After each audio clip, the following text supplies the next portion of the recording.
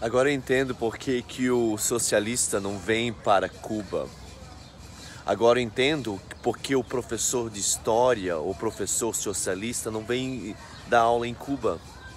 Agora eu entendo por que, que o médico neurocirurgião não vem trabalhar em Cuba.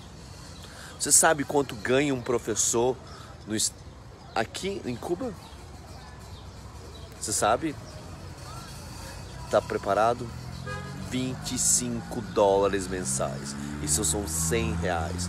Você sabe quanto ganha um médico normal, um médico, é, vamos dizer que é um médico clínico geral, 120 reais, menos de 120 reais, ok? Você sabe quanto ganha um neurocirurgião nesse país? 80 dólares, são 320 reais mensal.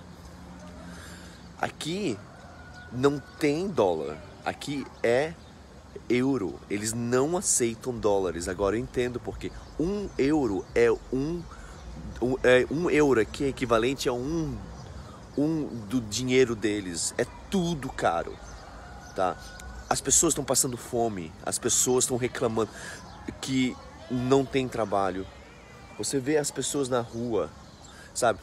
Esse, essa coisa de escola para todos, médico para todos, não funciona. Porque o médico se mata em trabalhar aqui para ganhar 120 reais por mês.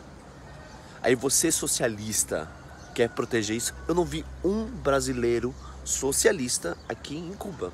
Nenhum. Sabe? Me deu dor no coração as pessoas. Sabe que elas não querem, elas não querem dinheiro. Ontem eu fui no supermercado, sabe o que elas me pediram? Você sabe o que elas me pediram? Elas pediram para eu comprar uma lata de frango para poder levar para a família.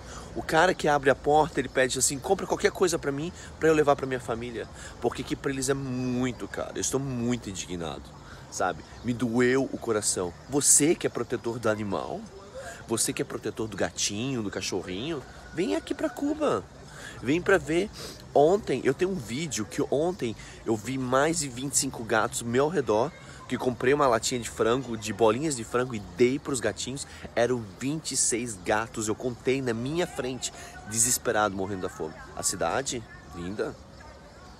Linda, realmente. A cidade de 1960 devia ser uma das cidades mais lindas do mundo. Mas eu conto para vocês, a cidade está caindo aos pedaços. A cidade está caindo aos pedaços. Tudo bem que a Havana, no, a Havana Velha tá toda assim, sabe?